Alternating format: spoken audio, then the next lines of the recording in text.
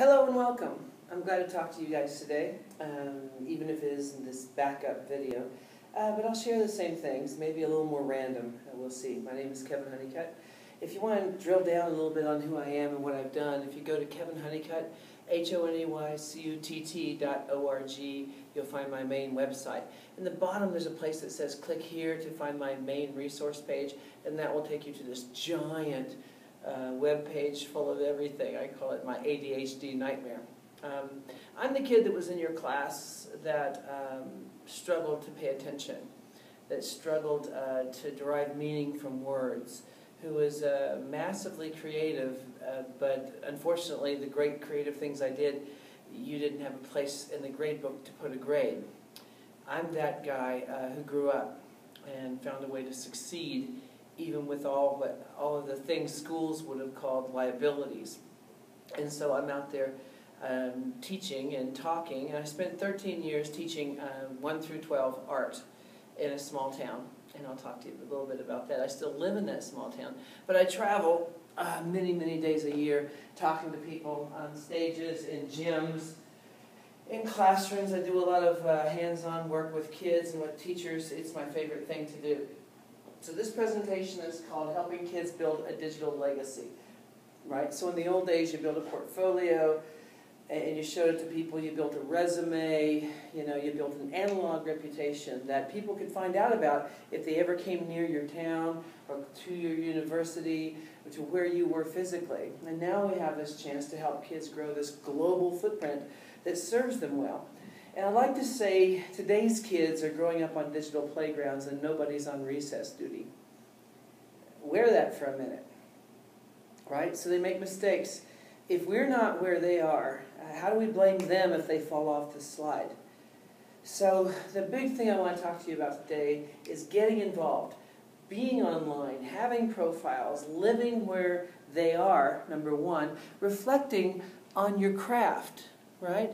They call it metacognition, thinking about thinking. Are we journaling? Are we reflecting? Are we sharing? Are we advocating for the kind of education we know kids need? If you're not doing that, right, what are you? A secret genius? Can we afford to sit passively by while politicians talk about education and educators and they're getting it wrong? It's time for us to talk. And I think we're role modeling for kids when we do that. So where's your YouTube channel? So where's your website? Where's your blog? Where's your podcast? Where's your conveyance um, of information, of uh, firsthand accounts of teaching in the trenches and what this is like out here so that people can understand education and maybe support education. We're living in a time when I think quiet people can get ignored. And if we allow our kids to role model our same passive, sort of shy behavior, I think they're going to really struggle in a world that communicates and communicates a lot. So I want you to plant that seed and let that germinate while I'm talking to you today. Okay? So here I am on the Inman School Board. I've been on the school board in Inman, Kansas. If you Google Inman, Kansas, Inman, I-N-M-A-N, you'll find that we're a town of about 1,100 people, about 475 kids pre-K-12. That's our school system. I've been on that school board 10 years now, um, so I'm halfway through my, my third term. So I'm still deeply involved in the schools in my community. Um, and because I think I have to be. I need to be there, talking about uh, good use of devices, the way you blend them in with the rest of the learning, the way the devices can address uh, all kinds of different issues uh, to help kids be more literate in, in, this, in this time.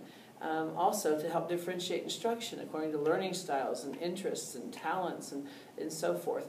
So on a daily basis, I think about this uh, with application to my own schools while I'm out there talking to other people in other schools. My favorite work is to go out and be in a school to help the leaders in that school think about, think deeply about where we are, uh, why we're there, and where we want to go, and why we want to go there. And how do we build a comprehensive plan to get where we need to go. Uh, because kids are watching and kids are there and kids are counting on us to do those kinds of things. So this picture up here, that's me and my wife, and I don't know how well you can see that. That's me and my wife uh, back when I first met her, and that was 1986. In this picture, you can see I'm holding her. We're at dorm formal at Ottawa University in Ottawa, Kansas. And I have one job in this picture, and that's to look like she doesn't weigh very much. So Donna just look sort of bored, like, wow, this this this girl is so light. Um, and then we moved out to Inman, Kansas, and we had uh, uh, Benjamin Honeycutt in our, the light of our lives. He grew up in a small town. He's a weird child. He's a different child. I asked him what he wanted to be for Halloween one year, and he said, I want to be an exit sign. Who asked to be an exit sign? He is a strange kid. I had to make this costume. It actually lit up. Uh, we won the costume contest. He grew up in a small town. I want you to think about that, what that means to grow up in a small town. To grow up in a, a small population, right? So let's say you're different, you're creative, you're interesting, okay? You stand out like a sore thumb. Now think about school. We all come in we have to manage kids, right? We have to manage them. There's a flow, and then they come and they go, and so we have to manage them. We talk a lot about classroom management, right? As if um, they're cattle or sheep or something like that. We're managing little human minds here. And they come to us in all different states.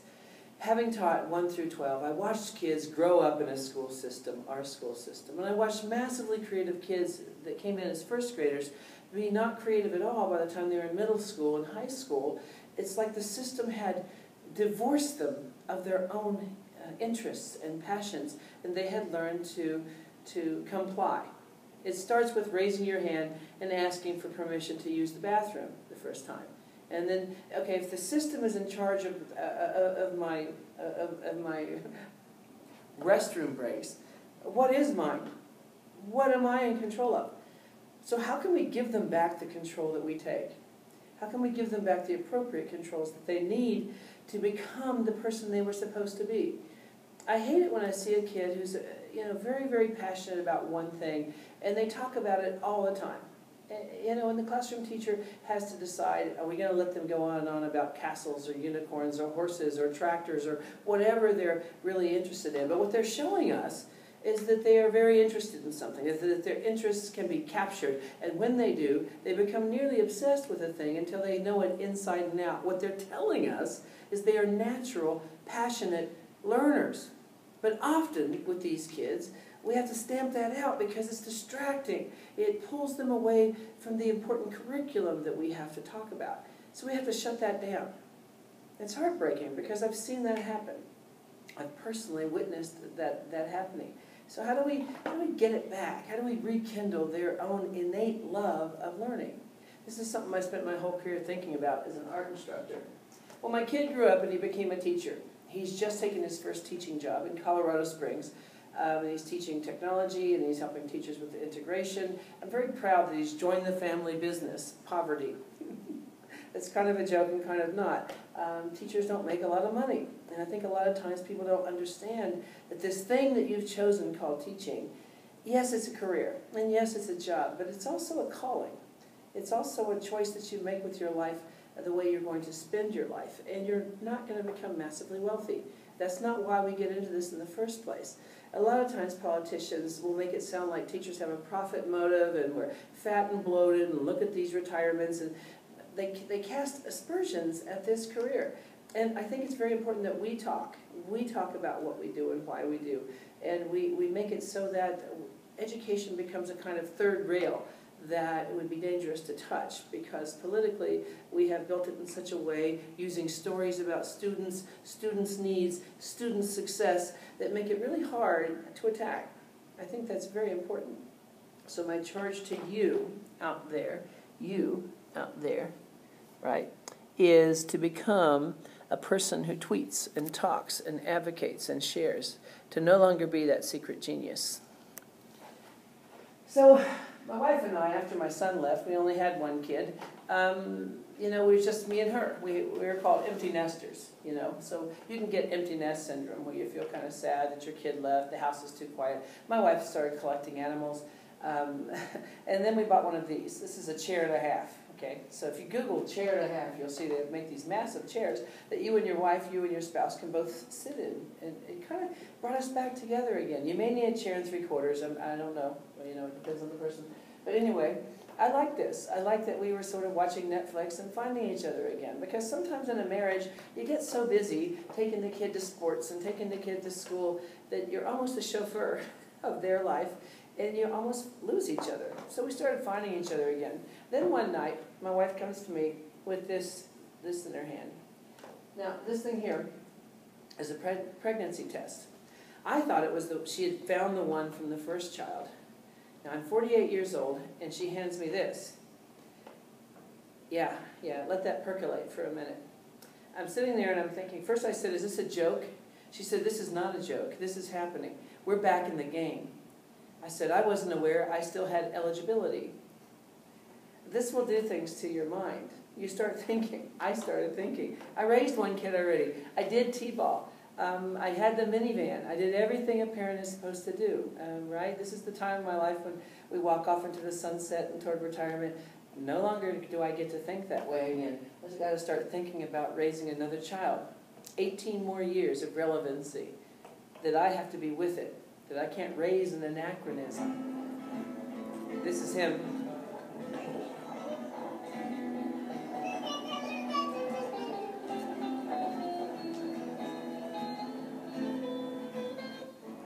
To understand, I had this. I had my son had left. I bought a Camaro. I got my wife a Challenger Hemi. I take care of my girl.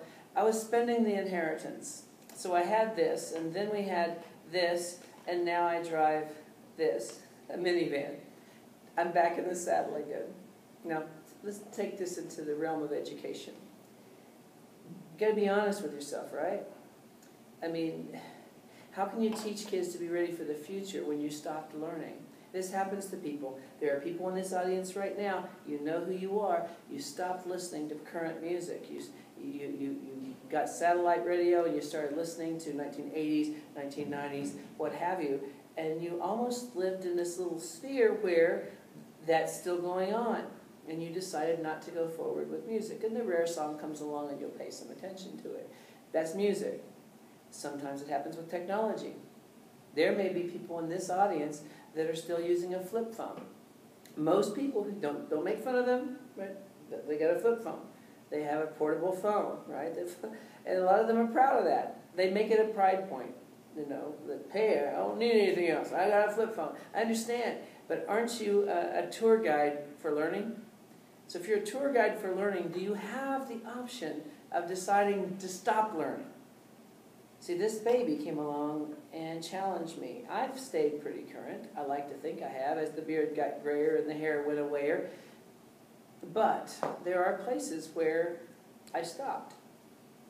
And so I, uh, I can't do that. I can't do that. And my charge to you as educators is we got to get back in the game.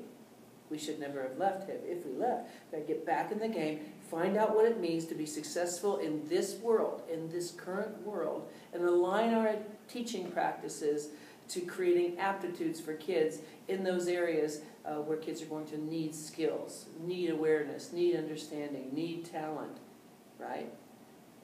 So we can't prepare them for our past. We have to focus on their future. That's important. So there's my kid. Am I going to raise him as an anachronism, uh, a, a, a cute little paper boy from the 1930s or 40s? Am I going to raise him as a kid who's always online, always got a device in his hand? Well, there's some place in between, right? I don't want to use technology as a pacifier, as a thing to keep him quiet, like they did to us with television. They plopped us down in front of the TV and they got on with their lives. You know, that happened, right? So I don't want to do that. I want to teach him to use technology as a tool, as a tool, to hunt with it, literally. Yes, to have recess from time to time. And once you think about what recess means, what does recess mean? What does a coffee break mean? What is the teacher's lounge? What happens in there, right?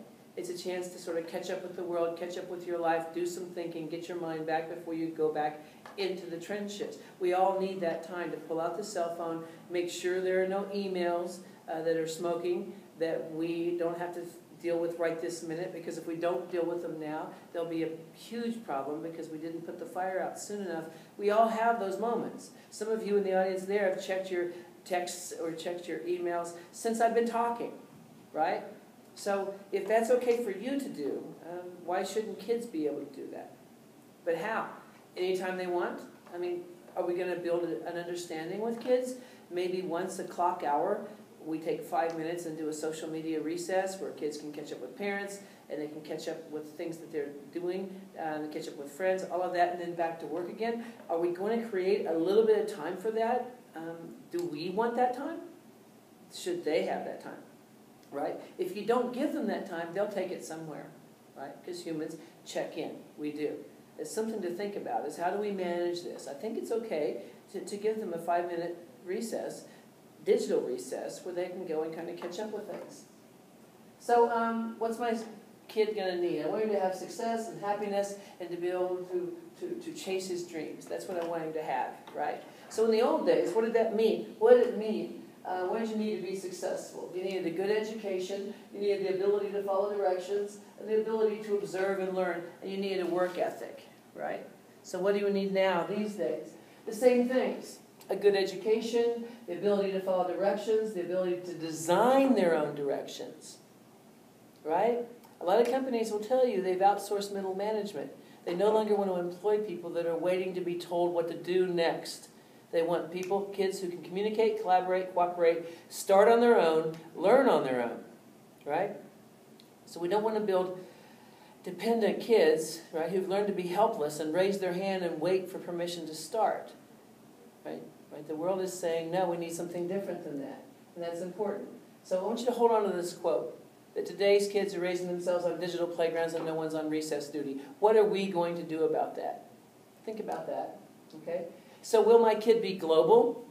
So we live in Inman, Kansas, right? But he can work anywhere in the world. Your kids can stay in your town and work anywhere in the world if they know how. Are we rehearsing that? Are we rehearsing teleconferencing? Are we doing mystery Skypes? Are we collaborating with other classrooms in other parts of the world? Pretty much rehearsing how companies make products now. They collaborate with other people. They work together. We can do that. We've been able to do that for years. So are we going to do that? Are we going to be global or are we going to be snow global? Hold on to that a minute. Snow global, what would that mean? What does snow global mean? Oh, it means we're proud of our school. Look at our test scores. Look how good we are. We build a little snow globe around there, right? Shake it, and there's snow, and it's cool. Isn't it cool? And we put it on the shelf, and it just sits there. Right? The schools I go to that are farthest behind, they were usually ahead a few years ago. And then they made a snow globe. Look how cute we are. Look how perfect we are. And now they're stuck in there. The world keeps changing and nothing in the snow globe changes. Kids are inside with glass cutters trying to get out. We write them detentions. Teachers are punching holes through and trying to connect with other people and do projects together, and they get their hands slapped sometimes. They say most good school innovation dies of domestic violence. Well, think about that, leaders in the room. How do we cultivate innovation, right, without letting those usual suspects get killed? Because people fear what they don't understand. And what I've learned is that people will protect what they've learned to be proud of. So, whatever new initiative you're doing, whatever cool thing you're doing with kids, you should be talking about that, tweeting about that, putting word out about that, living out loud about that so people can fall in love with what you're doing. And don't worry, it's not bragging because you're not talking about teachers per se, you're talking about student success and how important it is. So who's going to be against you? Who's going to be against student success? Right? So it's important to use social media. It's important to use all of these tools to make sure people understand the story of why you're doing what you're doing. So raise your hand if this is true for you.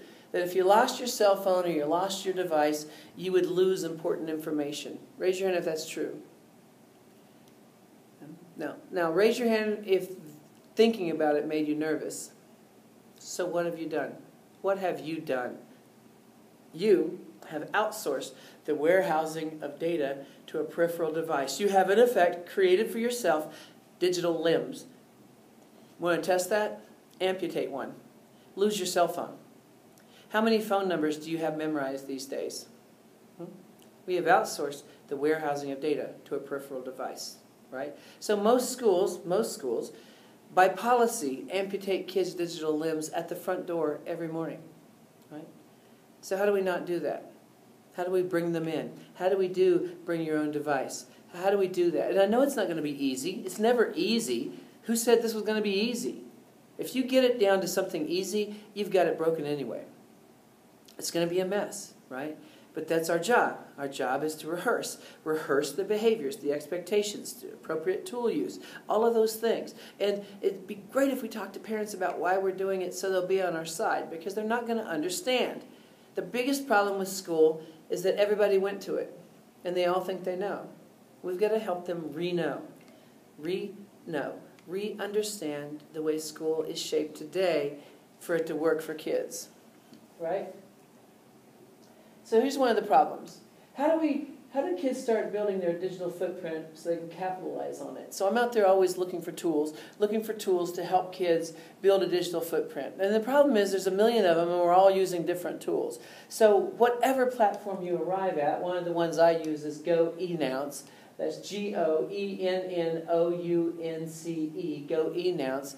And I felt, found this company out there, and um, I fell in love with them because of what they do. They build a platform that the whole school can use, so kids can take their digital portfolio from first grade to second grade to third grade to fourth grade to fifth grade to sixth grade. It's a safe area where kids can brag and they can showcase and they can talk about, right? Family can get in there and respond, and they can build this entire portfolio that when they graduate, they can take it with them that is a good idea. So whatever you choose to use, it'd be nice if you arrive at a common platform where all kids' work could be for years. They can keep it in one place because it's getting untenable to keep things in the cloud everywhere. I mean, you may be suffering from this. You got pictures over here, you got music over here. It's like your life is scattered in a million directions in the cloud. How do you get it down to one place uh, where you can keep everything? It's something I'm still working on all the time, but something schools should definitely think about. So this is me back in the 19, let's see, it was 1982. I'm sitting in the back row in, in, a room like this, a room full of chairs like this. And then we know some things about this, by the way. This is called, this is called the custodial construct. It was designed so custodians could get bruised between these chairs. It was never designed for optimal learning, right? And in a lot of cases, we're still teaching this way. We're still doing this, right? So if you have a device, a kid has a device and she's in the back row, who's to say she's not in the front row if the teacher is doing something engaging? Like, I got a Google Doc, and we're all doing research right now. We're citing our sources. And it turns out one of my shy girls in the very back is my rock star in the Google Doc because we can bend the rules now. We can change the shape of a classroom. So we're not, we're not stuck with this sort of literal like construct here anymore. We can now bend that. Now, some teachers struggle with the devices. I get yelled at I get yelled at by teachers. I got yelled at one time in a crowd of a thousand teachers. One screamed at me, I hate the Chromebooks. She screams this at me. I said, Do you talk to movies too? Um, I said, Why do you hate the Chromebooks? She said, I don't know what the kids in the back are doing. I said, Get up. Walk around. Retire if you like your chair that much. Kids passed paper notes. We didn't ban paper. But learn to use Google Docs, learn to use tools, learn to incorporate those devices, learn to engage kids and meet them where they live, learn to prepare them for their future using the very tools they're going to need, right? Instead of coming up with excuses, if you find technology to be a distraction, then your then your then your your pedagogy is built wrong, right? So yeah, an iPhone would be a distraction, uh, maybe in a museum, right? Um, we would say, well, maybe the camera's okay, but everything else is, is, is sort of wrong. So are we building museums or are we building schools? What are schools supposed to do? Right? So it's something that I think about constantly. How do we stay true to this idea of building schools that get kids ready for their future, their future, their always their future, right? Anytime you're asking yourself a question, is this right for kids? Is it right for their future? Or is it more comfortable for us? Is it easier to manage for us? Who's it for? Right? How do we keep the focus on that question? So, have you ever seen a kid launch? Have you ever seen a kid do something spectacular, out of the blue, defy everyone's expectations and be amazing? I've, I've lived my whole career looking for those moments, helping a kid launch right? So I see the launch pad is the classroom, is, the assignment, is the challenge, uh, right? And I want that student, shoo, their interest to launch. I want them to have a big rock star moment. How do you do that? So I have a lot of kids who struggle with writing. Now you might not have kids that struggle with writing, but some kids struggle with writing, and we have all these new tools, right? So I'm out there looking for ways to sanctify writing, and one of the things I found was Lulu, and now they have Lulu Junior. So Lulu.com is a place where you can self-publish your book for free. Now let's talk about that for a minute. So what do you mean, Kevin? So I get an account on Lulu. Now I'm an author. I upload my PDF. I choose cover art. I choose a spiral bound, perfect bound, saddle stitched, coffee table quality, whatever. It tells me the price over here. And it has a column down here that put in my markup, my markup per unit. So if I sell a book, this is the price, the, the money that I get. Now I'm an entrepreneur. Now I'm in business. And the minute you click publish, you are legally copyrighted. So now your third graders have a legal, legally copyrighted book and they're all authors on the record and their book ships worldwide. What could we do with this? Hmm. I'm hoping you're thinking, oh my gosh, there's a million things we could do. We say writing is important, right? So are we doing anything with that? So my girl, she published her first book, Saving Me, Poetry from My Heart, 10 pages in paperback. And when I bought the book online and took it to her and handed it to her in the hallway, it was a moment of transformation. It was, she launched. She became a writer in front of my eyes. She took it from my hands with the reverence of a Bible. She opened it slowly and said, I misspelled everything. She suddenly cared about spelling for the first time. Why? She's an author. She asked me, How do I revise? It's a question I never thought anyone would ask. I was so excited. I said, click revise, download the text, make your changes, re upload, republish. She did, and she's not stopped since. So one tool, one tool, right? Go, go to my resource page, click on the toolbox. You'll see a page of hundreds of tools, hundreds of tools, almost all of them free, right? That we can use tomorrow if we want to. Now, where did I get this giant list of tools? I crowdsourced it. I went to the Eduverse. I'm hoping that you teachers, a lot of you are on social media, a lot of you are out there connected to other teachers worldwide, expanding your craft, expanding your toolbox. Think of it this way. If you're a doctor, how many medications do you have in your doctor's bag? See, in the old days, as teachers, we had leeches, and we had, uh, we could make a poultice, right? And we might have um, some tree bark you chew on. Uh, we had three or four medications, and everyone used the same ones, right? Um, now we have everything. Now I can go and ask, I can ask 53,000 teachers with one tweet what their favorite tools are for this situation what your favorite um, remediations are for this situation. I am not alone anymore. Now, why is that important? My kids are not alone anymore. They're not at the mercy of what I can know, right, or what I know. They, they have the, uh, the power of everything I can know. So don't let your kids be at the mercy of what you currently know. Give them the power of everything you can know. It's a benevolent act. And by the way, teach them how to do this. Think about this. I have a macro mind, a macro, non-self-contained mind. I'm self-updating software. Are you? If I hire you to teach in my school, in 10 years, will you be the same person I hired? Or will you have updated so many times that your operating system is 10.2 by now? What do you want to be? How do you want to spend your heartbeats? Do you want to do one year 36 times? Or do you want to role model for kids that humans continue to learn, always continue to learn. So I teach part-time in juvenile detention and pretrial lockup in juvie. They call it juvie over here. Right? These are kids waiting to go to trial. They've committed crimes, right? So how do you get those kids' attention? And one of my biggest passions is trying to reach at-risk kids because I was one, right? So I go into juvie and I'm always looking for ways to get the kids excited. This is when I first started flipping my instruction. Now, a bunch of you in the audience are probably already flipping your instruction. And when that first started, it, it, was this. It was record all your lectures the way I'm recording this, right? And then put them online, then, then have the kids watch your lecture for homework and do something interesting in class.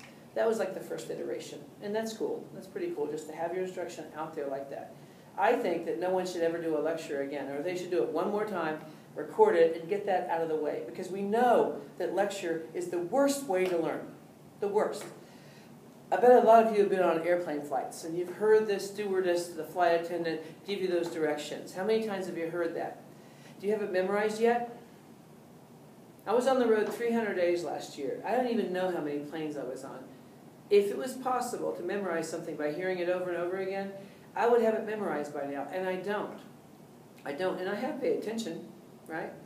Maybe I didn't follow all of Madeline Hunter's steps. Maybe that's what happened, Right? So lecture is the worst way to teach. But at least if you put it out there online, kids can rewind it. They can rewind it over and over and over until they understand it. Parents can listen to it and help their kids understand. It's a very nice thing to start doing. So I, I archived all of my lessons when I went into juvie because I needed two of me. Literally, I needed two of me. One to talk to kids and one to do the instruction.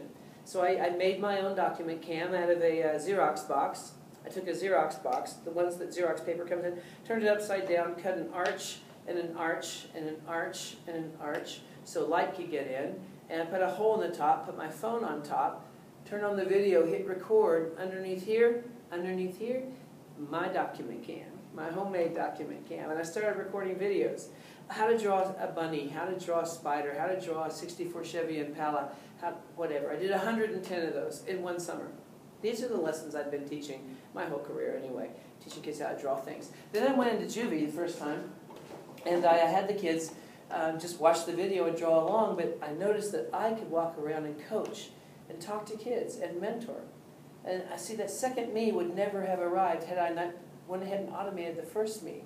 So the value of that, I can't, I can't even begin to describe how important that might be for some of your learners. Or the kids have a long-term illness and they miss a semester of instruction. No, they didn't. All your stuff is on YouTube. It's a nice thing to do. So if your school is not doing this, and mine is, and we're competitors, you're about to get smoked. Right? Because we, we are customer service centric and we put instruction in the palm of a kid's hands. Are you doing that? What would it look like if you did that? Right? Is that important? One of my inmates drew this picture. If you can see that, I don't know how well you can see it, but it's really good. The kid can draw. He can flat out draw.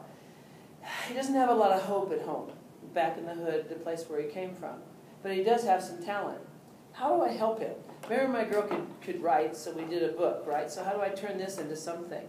That's when I first started looking around, and I found a site called cafepress.com, Cafe Press, and I study these things. I always tame the tool before I take it to kids. I studied Cafe Press, I got my own store, I put products on the shelf. If you have a Cafe Press account, a store, you can upload your pictures into your image basket, and once they're in your image basket, you can turn them into a thousand plus products that sell worldwide. Cost nothing to do. So now suddenly this young man has this on what? Pillows, on steins, on cups, on iPhone cases, iPad cases, Chromebook cases, all these products. And he can sell anywhere in the world. So now our focus can be how do you do promotion? How do you get people excited about your product before it comes out? How do you pre-buzz the, the product launch? How do you use social media intelligently and stop doing puberty and start getting intentional about building a future, right? Raise your hand if you made a mistake in puberty. Anyone here? Hmm? Can I Google the mistakes you made? Are they Googleable? Oh, good. So some of them aren't. So good. They're analog. Nice for you. Your kids are on the record. Every tweet, every status update, every Instagram post, all of it is in their in their resume, right? And they're doing this with or without us. So how soon can we start talking about this? How important is this, right? So I want to tell you a story about this stool that I'm sitting on. This stool that I'm sitting on is called the Godium stool. Now, let me take you back a little bit. I was working with a school in western Kansas, Ness City Schools. You know, give me one crazy teacher, give me one crazy administrator, and we can change the world. I had that situation in the form of Brent Kerr um, and uh, Derek Reinhardt, the superintendent of schools. And I asked if I could try to start a, a, um, an entrepreneur initiative. I started with one person, of course, that teacher. I met with his kids and said, kids, I need um, a traveling suitcase that turns into a podium. And that's when the Godium, this thing was born. So this is the Godium, and it's plastic. This is the the probably third iteration of this product. It has wheels that are nearly indestructible, and I pay them for these. So they invented this. They built a business plan, they built a website, and they started building these things for people, and that was awesome. And then I came to them and said, kids, I need a stool that comes apart and fits inside the Godium um, that I can travel with and I can put together really quick. I want to take this thing apart real quick and just show you the parts of it, okay? So here's the, the part that was sitting on, and by the way, it has my little logo, Learn to Love to Learn. The killer app for the 21st century is this. Kids need to learn to love to learn, and we have to role model that. So they put that on there. By the way, that's an upcharge. I had to pay extra for that Okay, so there's the lid, uh, the, uh, the seat part. This part here pops out. This part here, when they built this little footrest, it was too far down. I said, kids, I need an adjustable one. A week later, literally, they had built this adjustable one, so I could set it here, or here, or here. So now it's adjustable to however long your legs are. That's kind of a nice piece. This part pops off. This Velcro that holds this in, here and here. This pops off. This comes out.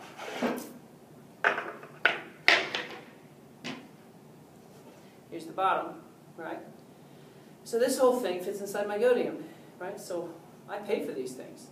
So they're worth it. So they make one for me, and then we start using social media to talk about their products and their website and their initiative and their dreams, all of that stuff. Well, the world starts to notice this thing.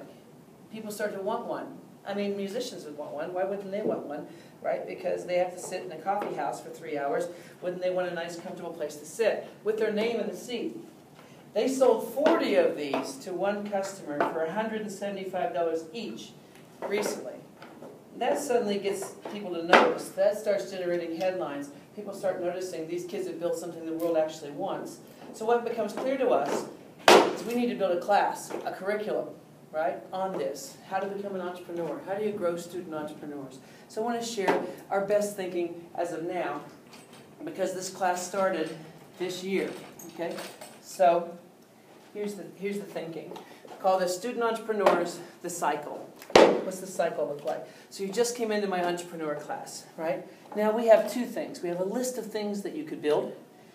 We have a list of people who need things that would like to work with you and any ideas that you have. And I find that lots of times if you ask kids to be inventive or invent something, they don't know what to do. They sit there and sit there and sit there. They don't know what to do. So sometimes it helps if, if somebody needs something. So it starts here, right, with, with some interesting, some interesting challenges, right, from somebody. The world, you know, help these people in Uganda have clean water. It could be a, a cultural um, benevolence sort of project.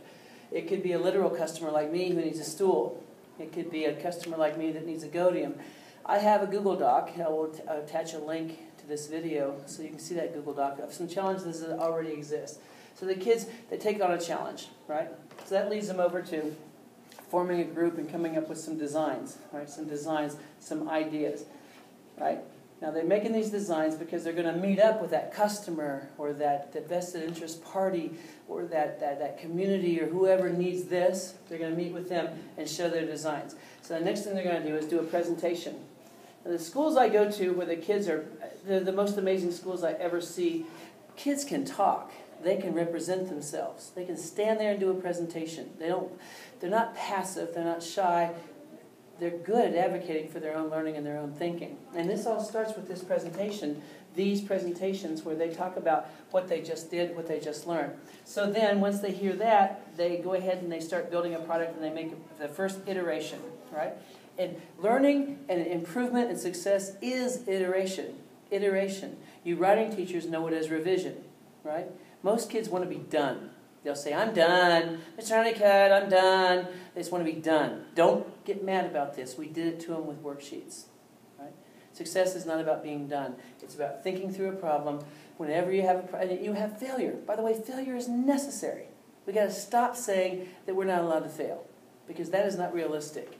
Right? Success is, is built on failures. You have a failure, you dissect the failure, you make an adjustment, and you do it again. You stick with it until you succeed. We have to teach that.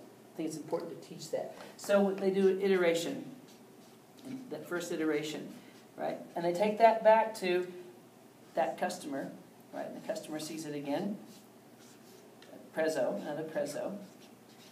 And then they do a final, a final iteration, and a final presentation. And they deliver it here, so they deliver it, right? So last iteration, iteration, right? Now here's where they get to make a decision. I gave it to the customer. We dug the well in Uganda. We bought the family a goat. Um, we whatever we did, right? We, we finished. So now, do they go on and come up with a new project? New project, or or do they Or do they decide, they, they pitch to the teacher that they want to iterate again and want to stay with that product because they think they have something. The Godium stool would never have happened had we not built the Godium. The Godium necessitated the stool. So this cycle made the stool happen, right? So when they got to this part where they delivered it, and suddenly they spawned a new idea. And now we've got them in this cycle, this cycle, this entrepreneurial cycle of learning. I think that's how knowledge is acquired. I think that's how success is built. Steal this idea, use it if you want to. We're just learning. We don't think we have it figured out, but we're learning as we go. Uh, what does it look like to get kids thinking this way? That we want to build learners who are constantly thinking, how do I improve? How do I make this better? You know, we think that's a, that's a, a healthy thing uh, that we should be teaching kids. So, anyway, thanks for watching that part. So here's the Godium in the first iteration, and it was uh, done in SketchUp, right? So whatever tools you have for 3D modeling, there's a lot of them out there, a lot of them are free. SketchUp is one of these products that a lot of people like. This is the first iteration, which was cardboard, and then I painted the cardboard, and I started traveling with it, and I sent them pictures of all the things that went wrong with it so they could see.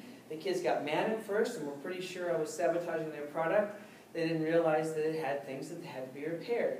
This is how we first got them thinking about iteration, right? So they came up with the name Godium, and by the way, if you look at, if you go to the Twitter account, at GoGodium, G-O-G-O-D-I-U-M, you can follow the history of this thing as it was evolving. I sent them iterations, ideas, improvements, and they kept adding more and more and more, right? So some kids heard me talk about this, right? And this is a class out in, I think, Nebraska, and they decided to invent their own furniture. They wanted to make their own furniture for their classroom. Some of these kids are in wheelchairs, and they struggle to find furniture that fits them properly. So they made their own. They did a GoFundMe campaign. They got all the materials they needed, material like this, and they designed and built the furniture they used that year. I think that's an amazing thing. I would love it if kids had that kind of contribution to their learning spaces, right? So here's the stool, the way it looks, right? And if you want one, by the way, there's a couple of these in Australia already. Uh, Paul Taylor over at Turramurra, uh, North Sydney, bought a couple for his, uh, his school. Right? So there's the stool. Right? So I want you to think about what would it look like. Where does it fit? Does this fit in your school? Does having kids become inventors and entrepreneurs have a place in curriculum? Does creating have a place in curriculum? Revise Bloom's taxonomy, at the very top of Revise Bloom's taxonomy, has the word create. What it's saying is that when kids can take what they've learned and create something with it, they own it. And my theory is that if they don't know how to create something from what they've learned, they're renting it with an option to buy, but they don't own it, and they're going to lose it. They may pass the test. Give them the same test 10 years later to see if they pass it. Did they remember it? Are they just holding on to things temporarily to get through the hoops of what we call school? How do we change that? Right? How do we make school an exciting, inventive place where kids want to be? That's what's always foremost on my mind. How do we do that? There's my kids who have the company, this company. If you want to get in touch with them, hit them at, at GoGodium. They'll, they'll talk to you. Okay? So how do we practice global learning? How do we do that? How, how do we let kids practice reaching out and talking to other people around the world to build a common product to solve a common problem? First of all, ask yourself, do you think this is important that kids learn this? To this end, I invented a project last year called the Model T Challenge. Here's what happens in the Model T Challenge. Um, I put this out on my website, and I'll post the link to this if it's interesting to anyone. Here's how it works. Four classrooms, right, four teachers basically, essentially meet up, and they all decide to take on part of this project. So your class is going to build uh, the frame of a Model T, a 19, I think it was a 1914 uh, Model T, and um, 15, 1915 Model T. Uh, you're going to make the frame in half scale. And you got to talk to the other teachers and decide at what scale you're going to build it. One half, one quarter, whatever, right? Out of any materials, cardboard, whatever you've got, right? Don't need a lot of money here. So you're going to do the frame. Uh, her class is going to build the body. His class is going to make the wheels and the steering wheel and all the accoutrement to make the car work. And then you're all going to take what you built, put it in a box, and ship it to her class. Her class is going to coordinate the entire thing and then assemble the thing. So we did this. We spent a year doing this and letting schools work together. Some schools had the stuff, they could 3D print stuff, other schools used cardboard. But when this thing was done, oh my gosh, it looked great. Now, what did the kids learn? What did they learn? Because people ask me, where's the content? Where's the rigor? I want you to say that word rigor. Say it. Rigor. Say it. Rigor. All right? What kind of word is this word? I mean, it sounds medieval to me, right? Like some medieval word. Pillage, plunder, and rigor. It implies pain. It should hurt, right? Should learning hurt? Does it have to hurt? So they wanted, they wanted to know what the content was going to be. My answer was this isn't about content, this is about skills. Communication, collaboration, cooperation, skills the world says it needs us to teach. Do we, here's a question for you, do we assess skills or do we assess content knowledge? To what end do we, to what degree do we assess skills? If we say they're important, how are we going to start measuring that? Because we seem to value what we measure. The kids are going to get all of these skills. The proof is going to be the product. Would it be neat if the product of kids learning was the test, was the assessment? Why does there have to be a separate assessment, right, to measure whether or not kids learn? Can't you see? Do we trust the teacher who watched the whole thing happen to know the kids, what they did, what they learned, what they can now do again because of this project? To ask yourself, where does this fit? Does this fit? Are you guys doing maker spaces in your schools? Are you creating some place where kids can come and make things, invent things, build things? Something like this could happen in a makerspace. Google Makerspace if you're not familiar or way familiar. Google that and find out. It's a global trend. It's a global thing that's happening, that makerspaces are happening all over the place. If you're doing that now, I congratulate you. If you're doing that without talking about the cool things that happen, I'm going to, to, to, to uh, take exception to that and say it's time to start talking, to living out loud, sharing what we do. We have cameras on every device. How do we start building things? Well, if you have a camera, you can collect things like this video here of this black widow spider. And I know you're in Australia where they have three spiders that are more deadly than this spider, but in the U.S., this is the most deadly spider, right? So if you see something like a black widow, or you see something like a, a dangerous thing, you see something that's interesting that kids are going to find interesting, what this really is